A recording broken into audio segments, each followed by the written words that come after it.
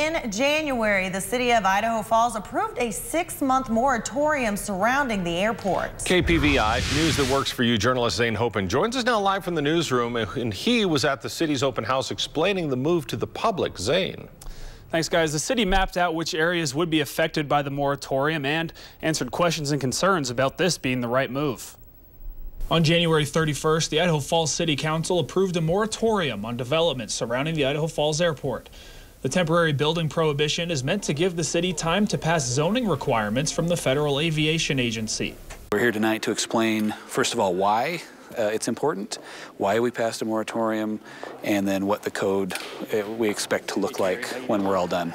So the city hosted an open house Tuesday night to get people more familiar with the process and its many moving pieces.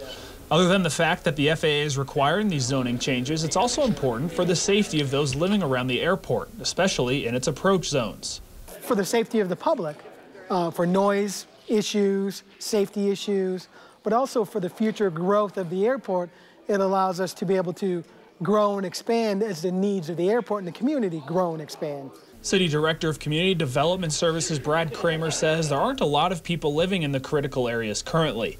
And if those people didn't know they lived in those areas, tonight was the opportunity to figure it out as the city prepared zoned maps as well as the ins and outs of the new moratorium, which Cramer says may be non negotiable but is still important information to spread. Between uh, you know, city FAA, uh, they, they have a lot of the cards that if we don't uh, um, get these in place, we put our airport at risk. So a lot of this is giving out information. This was the first of a series of meetings on the topic. The next will be a public stakeholder meeting on the 21st. Live in the newsroom, I'm Zane Hopen. Back to you guys. All right. Thank you very much, Zane.